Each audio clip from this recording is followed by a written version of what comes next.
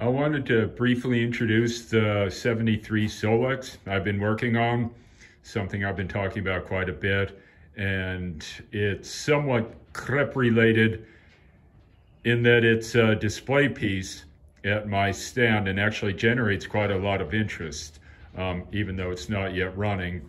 But uh, we're further along than uh, we were when it was just a bunch of rusty parts packed away in boxes. So there's been some progress. But just to fill you in, this was a really, really popular bike back in the Paris of 1970s when I was a kid in grade school there. It was hard to turn around without bumping into one of them. As a matter of fact, the Solex people, let me pan around here a little bit, um, in one of their ad campaigns had a lot of really colorful posters. And one of them, one of my favorites actually, said, sooner or later, you'll own a Solex. So that's what the poster was. And it certainly proved true for me. It took about 45 years, but here it is. Very generous gift from my parents. This was uh, stowed away in one of their sheds out at the farm. Did I say parents? I meant uh, my, my cousins. Sorry. My parents had nothing to do with giving me this bike. And there's no way to edit that out, so we just have to leave it in because all this is on my phone. So it's a front wheel drive bike.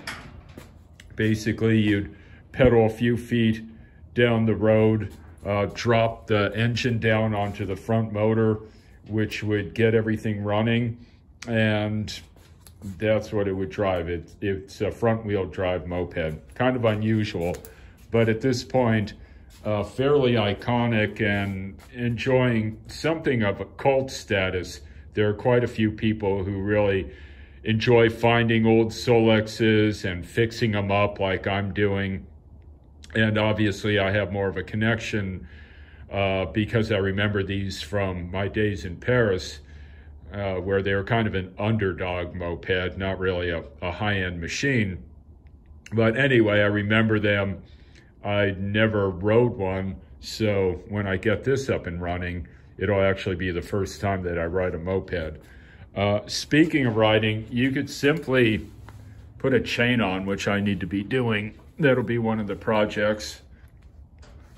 And ride it as a bicycle, albeit a heavy bicycle, because you'll be pedaling around with a motor on the front of your bike, something you usually don't have on a typical bicycle. And that adds quite a bit of weight and it'll take a lot of effort to overcome that. Uh, but it's a single speed, yeah, front and rear brakes. This is the front brake lever.